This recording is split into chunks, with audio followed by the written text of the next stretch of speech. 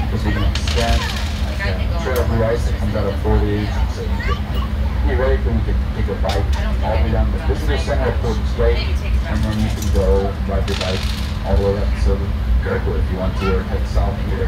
So that's a that's a plan in place. There's no question in that. Maybe I would a We at uh, Portage.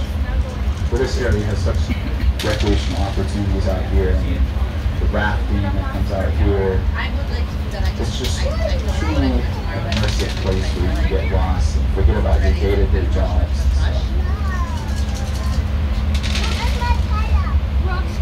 And I don't think we're going to be getting stuck since we're going downhill, so that's always good news. We'll still, we'll still be on.